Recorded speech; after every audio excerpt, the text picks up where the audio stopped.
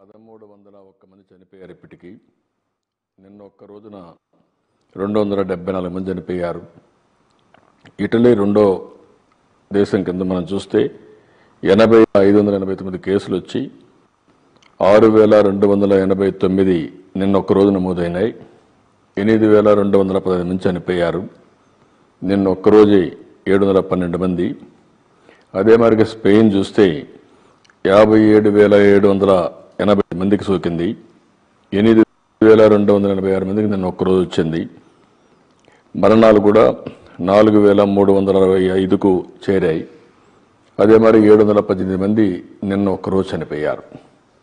ఈ విధంగా ఈరోజు మనం చూస్తే ఇది భయంకర నూట తొంభై ఆరు దేశాల్లో స్ప్రెడ్ అయింది ఇంకా పెరుగుతూ ఉంది. ప్రపంచం అంతా కూడా ఇది విపరీతంగా విజృంభించే పరిస్థితికి వచ్చింది. ఈరోజు ప్రధానమంత్రి బ్రిటన్ బ్యారిస్ జాన్సన్కి కానీ ఎవరైతే ప్రిన్స్ ఉన్నారో చార్లెస్కి కానీ వారికి కూడా వచ్చే పరిస్థితి వచ్చింది. అంటే ఇక్కడ మనందరం గుర్తుపెట్టుకోవాల్సింది ఇది ఒకరికని కాదు ఇది ఒక మల్టీప్లేయర్ ఎఫెక్ట్లో పోతా ఉంది. ఈరోజు ఇంకొక పక్క చూస్తే మన దేశంలో ఈరోజు ఉదయానికి ఏడు వందల ఐదు మందికి సోకింది. నూట ఎనిమిది మంది ఈరోజు మాత్రం కొత్త కేసులు వచ్చాయి పంతొమ్మిది మంది చనిపోయే పరిస్థితికి వచ్చారు నిన్న ఒక్కరోజు ఏడు మంది చనిపోయే పరిస్థితికి వచ్చారు కానీ కొన్ని కొన్ని దేశాలు దీన్ని నియంత్రణ కూడా చేయగలిగాయి. ఆ విషయం కూడా మీకు కండాల్సిన అవసరం ఉంది. అలాంటి మనం చూస్తే దగ్గర దగ్గర హాంకాంగ్ అయితే చైనా పక్కనున్న ఐదు వందల పద్దెనిమిది మందికి వచ్చింది అరవై నాలుగు నిన్న యాడ్ అయినాయి. నలుగురే చనిపోయారు. సింగపూర్లో ఆరు వందల ఎనభై మూడు మందికి వచ్చి యాభై రెండు కొత్తగా యాడ్ అయినాయి ఇద్దరే చనిపోయారు. తైవాన్లో కూడా రెండు వందల అరవై ఏడు మందికి వచ్చింది. నిన్న ముప్పై రెండు వచ్చాయి. ఇద్దరే చనిపోయారు. అంటే కేసులు ఎక్కువ ఉన్నా ఆ దేశాల్లో తీసుకునే చర్యల వల్ల చాలా వరకు నియంత్రణ చేయగలుగుతున్నారు. ఈ విషయం కూడా మనందరం గుర్తుకోవాల్సిన అవసరం ఉంది. ఇది ఎంత ఫాస్ట్గా స్ప్రెడ్ అవుతుందో అదే సమయంలో మనం ఇంకొకసారి చూస్తే దీని యొక్క వివరాలు కూడా మనందరం అర్థం చేసుకోవాల్సిన అవసరం ఉంది. ఈరోజు ఏదైతే గవర్నర్ ఎక్కడైతే ఇది పుట్టిందో అక్కడ మనం ఒకసారి చూస్తే అక్కడ జోహోజియానా వాంగ్ గవర్నర్ వుహాన్లో. అక్కడ అతను చెప్పింది ఇది మల్టిప్లై అవుతుంది. ఆరో రోజుకు ఒక వ్యక్తికి వస్తే మూడు వేల రెండు స్ప్రెడ్ అయ్యే అవకాశం ఉంది. అదే సమయంలో అష్టదిగ్బంధం చేసిన దానివల్ల ఇది ఐదు వందల కేసులకే తగ్గింది. పదిహేడు మరణాలు వచ్చే తర్వాత అరవై తొమ్మిది మంది అరవై తొమ్మిది పర్సెంట్ తగ్గించవచ్చని అతను చెప్పే పరిస్థితికి వచ్చింది. అంటే ఇక్కడ మనం గుర్తుపెట్టుకోవాల్సింది ఇక్కడ ఫిజికల్ డిస్టెన్స్ ఏదైతే ప్రధానమంత్రి గారు ఇచ్చిన సోషల్ డిస్టెన్స్ తగ్గించుకోవడం అందరం కూడా జాగ్రత్తగా ఉండడం ప్రతి ఒక్కరిలో కూడా ఒక ఆలోచన రావడం ఏదైతే హ్యూమన్ టచ్ ఉందో ఆ హ్యూమన్ రహితంగా మల్టీప్లైర్ ఎఫెక్ట్ వెళ్ళిపోయే పరిస్థితి వస్తుంది. అప్పుడు మనం ఏమి చేయలేని పరిస్థితికి వస్తాం. దీనికి ఒకటే మార్గం ఎక్కడికక్కడ ఫిజికల్ డిస్టెన్స్ తగ్గించుకుని దీన్ని హ్యూమన్ టచ్ ఎక్కడ ఉంటుందో దాని పట్ల జాగ్రత్తగా ఉండాల్సిన అవసరం ఉంది.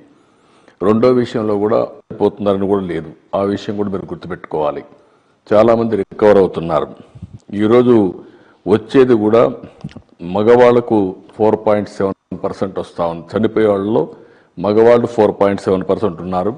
ఆడవాళ్ళు రెండు పాయింట్ ఎనిమిది పర్సెంట్ ఉన్నారు. మగవా ఆడవాళ్ళ కంటే మగవాళ్ళు ఎక్కువ వందరబుల్గా ఉండే పరిస్థితి వస్తూ ఉంది. రెండోది కూడా వయస్సును బట్టి ఇది ఎక్కువ ఇబ్బంది పెట్టే పరిస్థితి వస్తూ ఉంది. ఎనభై సంవత్సరాల పైన ఉండేవాళ్ళు జాగ్రత్తగా ఉండాలి. పద్నాలుగు పాయింట్ ఎనిమిది పర్సెంట్ ఇప్పుడు చనిపోయిన మరణాలు వారే వారే ఉన్నారు. డెబ్బై ఎనభై సంవత్సరాల్లో ఎనిమిది శాతం ఉన్నారు. అరవై డెబ్బై శాతం మూడు పాయింట్ ఆరు శాతం ఉన్నారు. యాభై యాభై తొమ్మిది శాతం ఒకటి పాయింట్ మూడు ఉన్నారు. నలభై యాభై వయసు మధ్యలో ఉండేవాళ్ళు వన్ పా పాయింట్ ఫోర్ పర్సెంట్. పది సంవత్సరాల నుంచి నలభై సంవత్సరాల వయసు ఉండే వాళ్ళకి ఓన్లీ పాయింట్ టూ పర్సెంటే ఉన్నారు. దీన్ని బట్టి మనం అర్థం చేసుకోవాల్సింది ఎవరైతే యువత ఉన్నారో వాళ్ళకి రెసిస్టెన్స్ కెపాసిటీ ఉంటే ఇది అటాక్ అవుతుంది ఇబ్బంది పెడుతుంది. అదే సమయంలో ఎక్కువ మంది మరణాలు లేకుండా కాపాడుకునే పరిస్థితి ఉంది పది సంవత్సరాల లోపు ఉండే వాళ్ళకి ఇంతవరకు పెద్దగా చనిపోయినట్టు దాఖలాలు లేవు. ఈ విషయం కూడా గుర్తుపెట్టుకోవాల్సిన అవసరం ఉంది. రెండో రెండో విషయం మనం ఒకసారి చూస్తే ఎవరైతే హెల్త్ బాగాలేదో వాళ్ళకి ఇబ్బందులు ఎక్కువ ఉన్నాయి. ఈరోజు ఎవరైనా హార్ట్ ప్రాబ్లమ్స్ ఉండే వాళ్ళకి టెన్ పాయింట్ ఫైవ్ పర్సెంట్ కేసులు నమోదైనాయి. వంద మంది చనిపోతే అందులో ten point five percent heart problem ఉండేవాళ్ళు గుండెపోటు కానీ ఇలాంటి ఉండేవాళ్ళు ఎక్కువ ఉన్నాయి. డయాబెటీస్ ఉండేవాళ్ళకి ఏడు పాయింట్ మూడు పర్సెంట్ ఉన్నాయి. క్రానిక్ రెస్పిరేటరీ డిసీజ్ ఉండేవాళ్ళకి ఆరు పాయింట్ మూడు పర్సెంట్ ఉన్నాయి. హైపర్ టెన్షన్ ఉంటే ఆరు పర్సెంట్ ఉన్నాయి. క్యాన్సర్ ఉంటే ఐదు పాయింట్ ఆరు పర్సెంట్ ఉంది. ఈ విషయం కూడా మనం అందరం గుర్తుపెట్టుకోవాల్సిన అవసరం ఉంది. అంటే ఇక్కడ నేను మిమ్మల్ని అందరినీ కోరేది ఒకటే ఇది చాలా ప్రమాదంగా ఉంటుంది. స్ప్రెడ్ అయ్యేది మాత్రం మల్టిప్లైర్ ఎఫెక్ట్గా ఒక వ్యక్తి టచ్ పాయింట్ చేసుకుంటూ పోతే ఆరు రోజుకి మూడు వేల రెండు వందల మంది కంటించే పరిస్థితి వస్తుంది. అక్కడి నుంచి మూడు వేల రెండు వందల మంది ముందుకు పోతా ఉంటే ఎంత ప్రమాదంగా తయారవుతుందో మీరు అర్థం పెట్టుకోవాల్సిన అవసరం ఉంది. నేను ముందే ఫిగర్స్ చెప్పాను. ఏదైతే జనవరి ఫస్ట్కు ఎన్ని కేసులు ఉన్నాయి అక్కడి నుంచి రోజు రోజుకు ఏ విధంగా పెరిగాయని కూడా మీకు మొత్తం డీటెయిల్స్ అని చెప్పాను. రాబోయే రోజుల్లో రేపటికి ఇది ఆరు లక్షల చిదరవుతుంది. మళ్ళా ఒక నాలుగు పది పన్నెండు లక్షలు అవుతుంది. అంటే రాబోయే మూడు నాలుగు వారాలు ప్రపంచం మొత్తం ఇంకా పెద్ద ఎత్తున ఇది పెరగడం దీన్ని కంట్రోల్ చేసుకోలేకపోతే చాలా ప్రాబ్లమ్స్ వస్తాయి. ఇప్పటికి కూడా ఎక్కడా మందులు లేవు. ఓన్లీ దీనికి కావాల్సింది స్వయం నియంత్రణ. ప్రధానమంత్రి గారు ఇచ్చినటువంటి ఈరోజు కార్యక్రమం ఉందో దీన్ని ప్రతి ఒక్కరు కూడా ఫాలో కావాల్సిన అవసరం ఉంది. ఎక్కడికక్కడ మనం నియంత్రణ పెట్టుకోవడం ఇండ్లలో ఉండడం అదే సమయంలో ఇది రాకుండా చూసుకోవడం చాలా అవసరం. అదే సమయంలో మనం అందరం కూడా కొన్ని జాగ్రత్తలు కూడా తీసుకోవాల్సిన అవసరం ఉంది. నేను ఎన్నోసార్లు చెప్పాను ప్రతి ఒక్కరూ శానిటైజర్స్ వాడడం చేతులు పరిశుభ్రంగా కడుక్కోవడం ఎక్కడున్న టచ్ పాయింట్ ఉంటే అవన్నీ జాగ్రత్తగా చూసుకోవడం. అదే సమయంలో బయట నుంచి వస్తువులు వస్తే అవన్నీ ఇక్కడ శానిటైజ్ చేసిన తర్వాత లోపల తీసుకురావడం. రెండోది మనం బయట పోయినప్పుడు జాగ్రత్తగా పోవాల్సిన అవసరం లేదు. ఏదైనా నిత్యావసర వస్తువులకు కానీ ఎమర్జెన్సీ కానీ హాస్పిటల్ పోయినా మళ్ళా మనం శానిటైజ్ చేసుకుని ఇంట్లోకి రావడం ఇవన్నీ చాలా అవసరం అని చెప్పి కూడా నేను మీకు తెలియజేసుకుంటున్నాను. అందుకే ఇప్పటికే చాలాసార్లు మనం డిస్కస్ చేశాం. నేను కూడా చాలాసార్లు ఈ విషయాలన్నీ చెప్పాను. రెండో విషయం కూడా మీరు ఒకసారి చూస్తే మే మనందరిలో ఇమ్యునైజేషన్ అంటే ఏదైనా వచ్చినప్పుడు తట్టుకునే శక్తిని మనం పెంచుకోవాల్సిన అవసరం ఉంది. దాని ఎక్కడికక్కడ మనం ఆరోగ్యాన్ని పెంచుకోవడం ఎక్కడికక్కడ ఉప్పు నీళ్ళతో గాగ్లింగ్ చేయడం ఆవిరి తీసుకుని మనలో ఏవైతే బ్యాడ్ బ్యాక్టీరియా ఉంటుందో దీన్ని చంపే విధంగా ప్రయత్నం చేయడం అదే మాదిరిగా ఇంకొక పక్కన ఎప్పటికప్పుడు చేతులు కడుక్కోవడం ఇవన్నీ కూడా అనునిత్యం చేయాల్సిన అవసరం ఉంది. ఇవన్నీ చేసుకుంటూనే ఇంకొక పక్కన ప్రభుత్వానికి ఎక్కువ బాధ్యత ఉంది. అటు కేంద్ర ప్రభుత్వం ఇటు రాష్ట్ర ప్రభుత్వాలు ఎక్కువ బాధ్యత తీసుకోవాలి. మామూలుగా వచ్చే క్రైసిస్ వేరే ఈ క్రైసిస్ వేరే. ఒక ఎర్త్కి ఎక్కువ వస్తే ఒక ప్రాంతానికే పరిమితం అవుతుంది. ఒక తుఫాన్ వస్తే ఒక ప్రాంతానికే పరిమితం అవుతుంది అవసరమైతే అందరూ సహకరించి ఆ ప్రాంతాన్ని ఆదుకోవడం కోసం ముందుకొస్తారు. అది కూడా సంక్షోభమే. ఆ సంక్షోభాన్ని ఎదుర్కోవడం అందరం కలిసి ఎదుర్కొంటే ఆ ప్రాంతంలో ఉండేవాళ్ళని తొందరగా వీళ్ళని తొందరగా మనం రక్షించుకోవడం కానీ వాళ్ళకి సహాయం ఇచ్చడం అవుతాం. కానీ ఈ సమస్య మీరు ఒకసారి చూస్తే ఇది చాలా ప్రమాదకరమైన సమస్య. మనం కూడా ఫ్రీగా ఊరి నుంచి ఇంకొక ఊరికి పోలేని పరిస్థితి. ఏ ఊరికి ఆ ఊళ్ళు నియంత్రణ చేసుకునే పరిస్థితి. మనం బయట రాలేని పరిస్థితి. అదే సమయంలో మనకు కూడా నిత్యావసర వస్తువులు కానీ ఎసెన్షియల్ సర్వీసెస్ కానీ అవసరమైన పరిస్థితి కూడా ఉంది. అందుకని అన్ని రాజకీయ పార్టీలు కానీ ప్రజా సంఘాలు కానీ అదేవిధంగా ఆర్గనైజేషన్స్ కానీ ప్రభుత్వాలు కానీ కలిసి పనిచేయాల్సిన అవసరం ఉంది. సమాజ హిత కో హితం కోసరం. ఇక్కడ రాజకీయాలు లేవు. ఈరోజు మీరు ఒక్కసారి చూస్తే మొత్తం ప్రపంచం అంతా కూడా ఆర్థిక వ్యవస్థ చిన్నాభిన్నది కొన్ని దేశాలు అయితే పెద్ద ఎత్తున ప్యాకేజీలు ఇచ్చే పరిస్థితికి వచ్చారు. మామూలుగా అయితే ఇంత పెద్ద ఎత్తున ఎప్పుడు ఇచ్చేవాళ్ళు కాదు. అలాంటి ప్యాకేజీలు ఇచ్చే పరిస్థితికి చాలా దేశాలు వచ్చాయి. యుఎస్ఏ అయితే యాభై బిలియన్ డాలర్ల తక్షణ సహాయం వన్ ట్రిలియన్ డాలర్ల ప్రతిపాదన సహాయం రెండు పెట్టుకున్నారు. చైనా తొంభై ఐదు బిలియన్ యుఎస్ డాలర్లు ఇటలీ ఇరవై ఐదు బిలియన్ యుఎస్ డాలర్లు జర్మనీ ఐదు వందల యాభై బిలియన్ యూరోలు ఫ్రాన్స్ మూడు వందల బిలియన్ యూరోలు. మన రాష్ట్ర ప్రభుత్వం కూడా మీరు కేంద్ర ప్రభుత్వం చూస్తే లక్ష డెబ్బై వేల కోట్ల రూపాయలు ఒక ప్యాకేజ్ ఇచ్చే పరిస్థితికి వచ్చారు. అది మొదటి విడత మాత్రం. అంటే దీన్ని బట్టి మీరు ఆలోచించుకోవాల్సింది ఆర్థిక వ్యవస్థ చిన్నాభిన్నం అయిపోయింది. ఎవ్వరికి పని లేదు ఎవరు బయటకు వచ్చే పరిస్థితి లేదు. చిన్న చిన్న ఇండస్ట్రీ ఉంటే స్మాల్ స్కేల్ ఇండస్ట్రీ లేకుంటే చిన్న చిన్న పనులందరూ చాలా ఇబ్బంది పడుతున్నారు. రైతులైతే పంట కూడా తీసుకునే పరిస్థితులు లేరు. ఇప్పుడు రాష్ట్రంలో రైతులు మీరు ఒకసారి ఆలోచిస్తే ఒక పక్క పండ్ల తోటల్లో వచ్చే పండ్లు కానీ కూరగాయలు కానీ లేకపోతే ఆ కొండే అక్వాకల్చర్లో వచ్చే చేపలు కానీ పౌల్ట్రీ కానీ సెరికల్చర్ కానీ మిరపలు కానీ మొత్తం దెబ్బతినే పరిస్థితికి వచ్చింది. వాళ్ళు అక్కడ ఇబ్బంది పడే పరిస్థితికి వచ్చారు. ఇంకొక పక్కన ఇండస్ట్రీస్ అన్ని దెబ్బతిన్నాయి ఎవ్వరికి పని లేదు. కూలి చేసుకోవాలంటే కూలీకి పని లేదు. ఉద్యోగాలు చేసుకోవాలంటే అక్కడ పని దొరికే పరిస్థితి లేదు. ఆఫీసు పోయే పరిస్థితి లేదు. ఇలాంటి వల్ల ఇంకా ఎక్కువ ఇబ్బందులు వస్తాయి. ఇప్పుడు అందరం సమిష్టిగా ఈ విపత్తు నుంచి బయటపడాలంటే ప్రతి ఒక్కరూ ఆలోచించాల్సిన అవసరం ఉంది.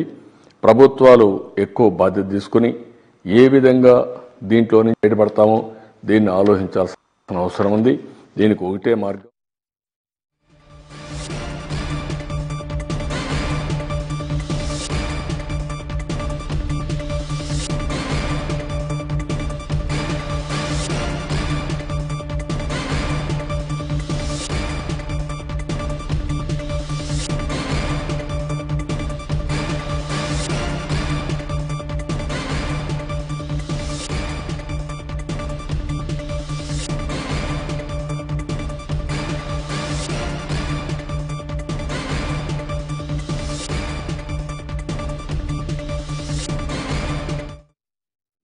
నియంత్రణ చేసే వ్యవస్థ. అదే సమయంలో దీనికి నిత్యావసర వస్తువులు ఇలాంటి అందుబాటులో పెట్టే వ్యవస్థ. ఇంకొక పక్క రైతులు వ్యవసాయ ఉత్పత్తులు వస్తే దాన్ని మార్కెట్కి చేర్చాలి అందరికి అందుబాటులో పెట్టాలి అలాంటి చేసే వాళ్ళందరూ కూడా ఫుల్గా వాళ్ళందరినీ శానిటైజ్ చేయాల్సిన అవసరం ఉంది. వాళ్ళని పరిరక్షించుకోవాల్సిన అవసరం ఉంది. వాళ్ళందరికీ కూడా మాస్కులు ఇవ్వడం ఇంకొక పక్క ఎక్కడికక్కడ శానిటైజర్స్ ఇవ్వడం ఇంకొక పక్క గ్లౌస్ ఇవ్వడం ఇలాంటివి ఏవైతే ఉన్నాయో ఈ యొక్క కరోనా పైన ఫైట్ చేసే వారియర్స్ కోసం ఫ్రంట్లో ఉండే వాళ్ళందరికీ ఇవన్నీ ఇచ్చి డ్రెస్ కోడ్ కూడా పెట్టి వాళ్ళని ఎట్లా ఆదుకోవాలని ఆదుకోవాల్సిన అవసరం. కేంద్ర ప్రభుత్వం అయితే ఇప్పటికే యాభై లక్షల రూపాయలు ఇన్సూరెన్స్ చేశారు. అది ఒకటే చాలదు. ఎవరైతే వీరోచితంగా గట్టిగా పోరాడతారో ప్రజల్లో ఉంటారో వారందరికి కూడా మనం అండగా నిలబడాల్సిన అవసరం ఉంది. ఆ విషయం ప్రతి ఒక్కరు గుర్తుపెట్టుకోవాల్సిన అవసరం ఉంది. నిన్న మొన్న ఇలాంటి క్రైసిస్ వచ్చినప్పుడు అందరిలో కూడా ఆవేశాలు ఉంటాయి. తొందరపాటు కూడా ఉంటుంది. ప్రాణానికి వచ్చినప్పుడు ప్రతి ఒక్కరు కూడా ఏదో చేయాలని తపన పడతా ఉంటారు. నిన్న మొన్న అలాంటి సంఘటనలు కూడా జరిగాయి. ఏదైతే కొండే వాళ్ళందరూ రిలీవ్ చేసినప్పుడు వాళ్ళు నేరుగా వాళ్ళ నేటివ్ ప్లేస్కి వెళ్ళిపోవాలని చెప్పి వెళ్ళడం అక్కడ పోలీసులు నియంత్రణ చేయడం దీనివల్ల ఇద్దరిలో కూడా ఆవేశాలు వచ్చి లేనిపోని సమస్యలు వచ్చే పరిస్థితి వస్తూ ఉంది. ఇలాంటి సమయంలో ప్రభుత్వాలు చెప్పే నియంత్రణకు అందరూ పాటించాలి. ఎక్కడికక్కడ మీరు అక్కడే ఉండాల్సిన అవసరం ఉంది. దానికి అవసరమైతే ఆయా రాష్ట్ర ప్రభుత్వాలకు ఏదైనా ఇబ్బంది ఇక్కడ ఉండేవాళ్ళు కానీ తెలుగు వాళ్ళు ప్రపంచం అంతా ఉంటారు. ప్రపంచం అంతా ఉన్నప్పుడు అక్కడ ఏదైనా ఇబ్బందులు ఉంటే ఈ ప్రభుత్వాలు ఆ ప్రభుత్వాలతో కోఆర్డినేట్ చేసి పూర్తిగా వాళ్ళ సహాయం తీసుకుని అవసరమైతే కొన్ని ప్రభుత్వాలు సహకరించకపోతే మనమే డబ్బులు ఇచ్చి మనకిచ్చిన సహాయానికి అవసరమైతే మనమే పే చేద్దాం. పర్వాలేదు. కానీ మన వాళ్ళని రక్షించుకోవడం ప్రథమ కర్తవ్యం. చాలా గ్రామాల్లో నేను చూస్తున్నాను. స్వయం నియంత్రణ పెట్టుకున్నారు. బయట వాళ్ళు వస్తే ఒప్పుకోలేని పరిస్థితిలో ఉన్నారు. కారణం ఈరోజు ప్రపంచం అంతా జరిగే పరిణామాలు చూస్తూ వాళ్ళు నియంత్రణ పెట్టుకొని బయట వాళ్ళు వస్తే కరోనా వైరస్ వస్తుందని భయంతో వాళ్ళే నియంత్రణ పెట్టుకునే పరిస్థితికి వచ్చారు. అందుకనే మనం తొలి రోజు నుంచి కూడా ఏదైతే క్వారంటైన్ ఉందో దీన్ని కంపల్సరీగా పాటించాలి. నియంత్రణకు అందరూ లోబడే పనిచేయాలి మొదటి రోజున మనం కానీ ఎవరైనా సరే ఎక్కడి నుంచి వచ్చినా క్వారంటైన్కి వెళ్ళి పద్నాలుగు రోజుల తర్వాత కానీ వెళ్ళుంటే మనకి ఇబ్బందులు వచ్చేటివి కాదు. ప్రభుత్వాలు కూడా దీన్ని ఇన్సిస్ట్ చేస్తుంటే ఈ సమస్య వచ్చేది కాదు. ఈరోజు క్వారంటైన్లో మనం మిస్ అయ్యాం. అయితే ఈ రోజైనా సరే మనం ఒక అడ్వాంటేజ్ పొజిషన్లో ఉన్నాం. దేశంలో ప్రధానమంత్రి గారు తీసుకున్న జనతా కర్ఫ్యూ ఏదైతే ఉందో స్వచ్ఛందంగా మూడు వారాలు పెట్టారో ఇది మనకు ఉపయోగపడే పరిస్థితికి వచ్చింది. ఇది సరైన నిర్ణయం. ఈ విషయం గుర్తుపెట్టుకోవాల్సిన అవసరం ఉంది. దీనికంటే మించిన నిర్ణయం లేదు. అదే సమయంలో ప్రతి ఒక్కరూ ఆలోచించాల్సింది మనం తొందరపాటు చర్య కాకుండా ఎక్కడికక్కడ సంయమనంతో ముందుకు పోవాల్సిన అవసరం ఉంది. ప్రభుత్వం కూడా ఈరోజు గుర్తుపెట్టుకోవాల్సింది ఎక్కువ టెస్ట్ సెంటర్లు పెట్టాలి. ఇప్పటికి ఇండియాలో కానీ ఆంధ్రప్రదేశ్ రాష్ట్రంలో చేసే టెస్టింగ్ నామమాత్రంగా ఉన్నాయి. ఒక్క సౌత్ కొరియాలో వారానికి నాలుగు వందల టెస్టులు చేసే ఎక్విప్మెంట్ పెట్టుకొని ఏడు నిమిషాల్లో టెస్టులు చేసి ఎవరికి దగ్గొచ్చినా ఎవరికి జ్వరం వచ్చినా ఎవరు తుమ్మినా వాళ్ళందరినీ టెస్ట్ చేసి కరోనా పాజిటివ్నా కాదా తేల్చేసే పరిస్థితిలో ఉన్నారు. దీనివల్ల కాన్సన్ట్రేషన్ పెరిగింది.